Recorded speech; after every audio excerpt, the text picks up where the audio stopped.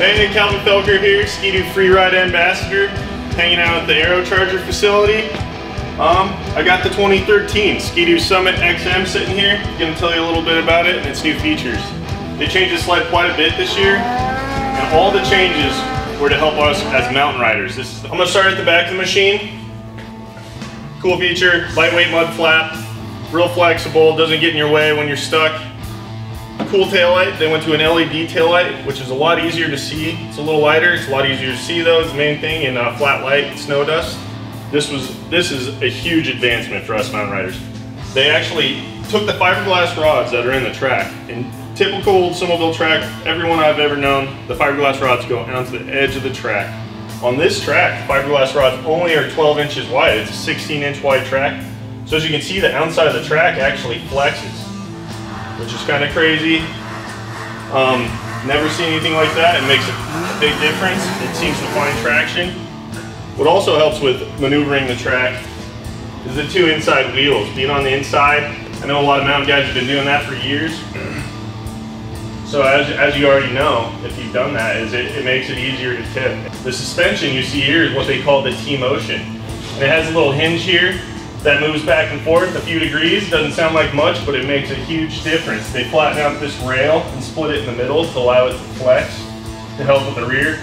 So this sled, when you lean, the whole body actually moves on the suspension. The suspension and the track stay planted and find traction.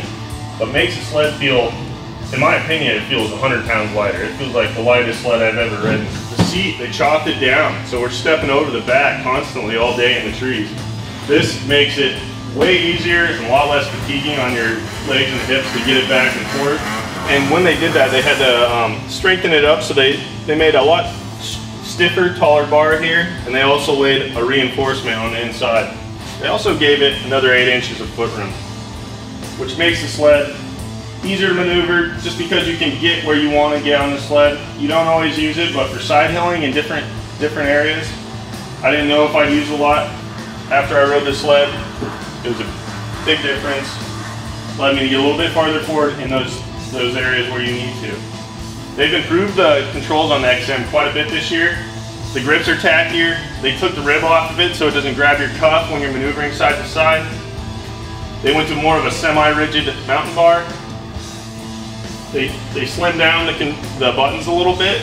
Now you've only got your reverse and your high-low beam up here and your, your hand warmers and thumb warmers are down here. They flatten out the gauge so it's easier to read when standing up and give you over a gallon of heated storage up top. A new dual intake, it looks the same on the other side. It's really high. The airbox worked really great for me all winter. The paneling, as you can see, it's a lot rounder and smoother.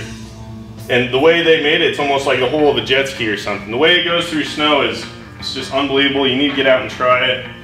The Pilot DS ski has one, been one of my favorite skis the last couple years, and they've improved it this year and made it a deeper keel and flatten the rear.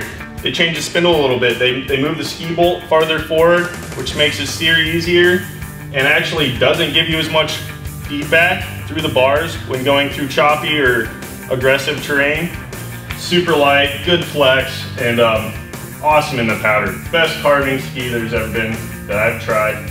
What really makes this sled my favorite, that little bad boy right there. For mountain riders, we're at altitude, and you just can't ever have enough power of a stock naturally aspirated machine. Turbos love load, they love the deep snow, they love to be on the hill. For Aerocharger to get this out so quick was unbelievable. Ski-Doo came to them and worked with them to develop this kit and to release it as soon as they did. This kit is available right now. You can order this. If you've ordered your XM, you live at high altitude and you, you like to play hard, I suggest ordering your Aerocharger today. All right, that's it. You see my 2013 Aerocharge Summit. Check me out on Facebook and come watch us run live at the World Championship Hill Climbs in Jackson Hole in March.